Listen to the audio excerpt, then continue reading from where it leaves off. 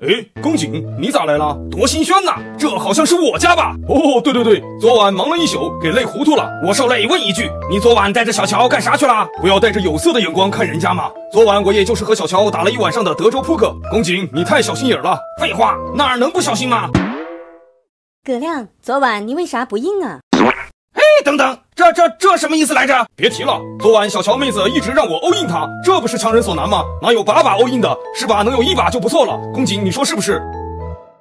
啊，这倒是符合九一定律。宫瑾，你瞎掺和个啥？你欧印过吗？嘿，我当然欧印过啦。哼，我怎么没感觉呢？可亮，别怪我心狠，要怪只能怪你听到了不该听的事情。我限你在十日之内造出十万支凋零剑，否则军法处置。啊，呃，那公瑾，你打算给我安排多少人手啊？哎，有人手谁造不出凋零剑？啥都没有还能造出凋零剑，这才显得你葛亮有本事嘛。那这么说，我现在就可以给你十万支凋零剑啊？哪儿呢？哪儿呢？哎，有剑谁不会收？没剑你还能收下十万支凋零剑，这才显得你公瑾有本事嘛。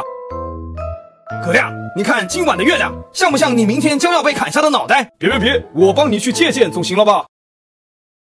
曹老板，我来了，你不要过来呀！曹老板，你这脑袋又抽风了？你儿每次来都没好事，说吧，这次又想干什么？也没什么，就想管曹老板借十万匹绝影。我给你十万匹地炉行吗？不要那么小气嘛，那要不借我十万把七星宝刀也行。来来来，你小子有种把眼睛睁开说话。那借我十万支箭总行了吧？你小子说的不会是青钢剑吧？那哪能呢？就普通的凋零剑。我现在就给你，赶紧给我滚！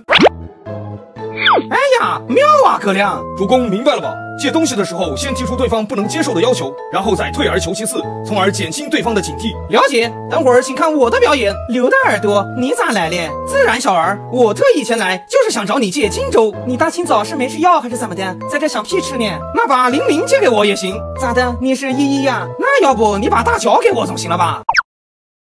别说了，荆州给你，马上给我滚！主公这招逆向思维可真是高啊！高个屁！我要这荆州何用？妈的，以后不还了！甘夫人，怎么了？什么七夕？又买包？还五千块？行行行，买！妈的，不过了！主公这就太被动了，对女人要有一点策略呀。小乔妹子，怎么了？一个人在家好无聊，把你的七星灯给我玩玩呗。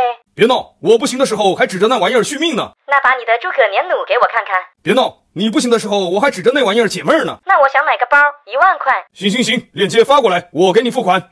嘿嘿，省了。哎，